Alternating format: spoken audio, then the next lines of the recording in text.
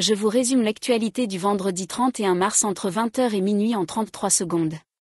Strasbourg, trois hommes mis en examen après une course-poursuite mortelle diffusée sur Facebook.